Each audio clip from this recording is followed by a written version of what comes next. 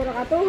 Alhamdulillah hari ini kita telah melaksanakan FGD hasil kajian uh, kegiatan Jambore Cabang 7 tahun 2024 di mana hari ini kita uh, secara garis besar mengevaluasi evaluasi perencanaan dan pelaksanaan Jambore Cabang tahun 2024 uh, dan secara garis besar hasilnya bahwa pelaksanaan Jambore Nasional dinilai cukup baik dan baik oleh peserta. Jadi uh, banyak yang menyatakan uh, sangat baik dan baik dalam pelaksanaan. Namun ada beberapa memang catatan terkait beberapa sarana prasarana yang masih dinilai kurang baik, yaitu terutama dalam penyediaan air bersih, kemudian juga MCK.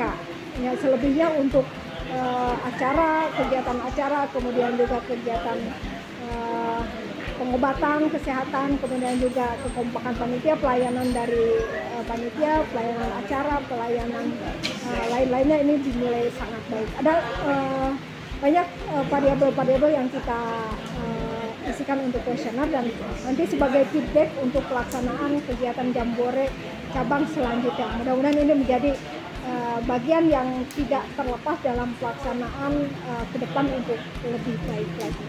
Terima kasih. Assalamualaikum warahmatullahi wabarakatuh.